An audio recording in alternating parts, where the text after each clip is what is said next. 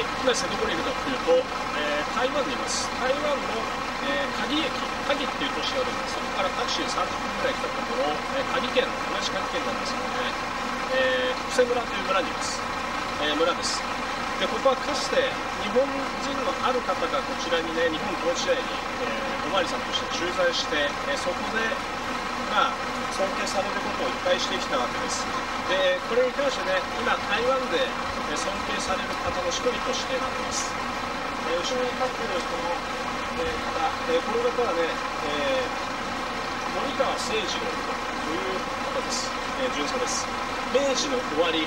まあ、ちょうどね、え日清戦争終わった後に台湾が日本が統治するようになりました。そこから50年間統治したわけですけど明治の終わりにこの森川正義の巡査は、えこちらの村、あ、かなり田舎なんですけどね、え赴任いたしました。取材取材としてね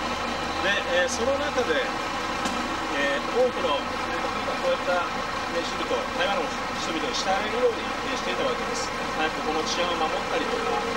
誘導したり困っていた人を助ける。そういったことをしていたわけです。でその後ですね、えー、例えば自分で書籍を買って私費を投じてね自分の給料から、えー、詩を投じて、えー、こういうふうに子供たちに日本語の読み書きを教えていたわけです、で時にはこのような形で、えー、海でね溺れてしまった方、えー、これをねすぐ助けに入る。自ら死ぬ可能性もあるのに、え、それに対して助けに入った方です。で、えー、そんな時にですね、えー、まあ、台湾総督府というのは台北にあったわけですけど、えー、そこから通達がありました。これは何かというと、え税金を上げる漁業税この辺りね海が近いんで漁業が行われている村でもあります。漁業税を設けて、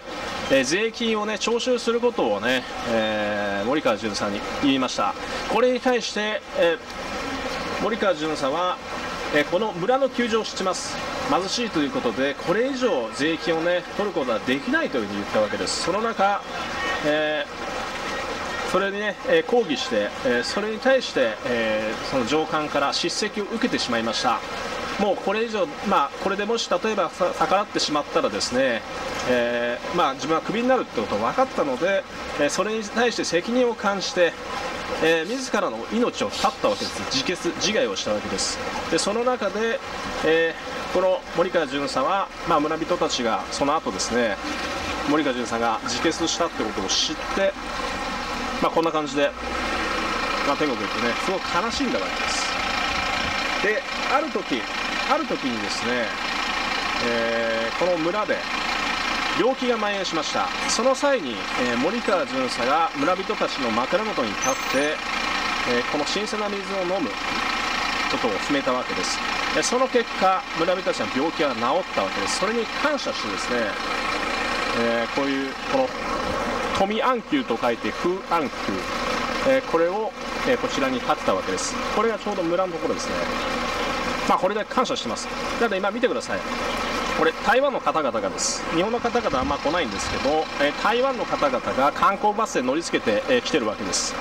ただこれだけね、えー、台湾で尊敬されてる方っていうのは結構いるんですけど、えー、そのうちの1人がこちらの森川巡査自ら命を絶って村人を、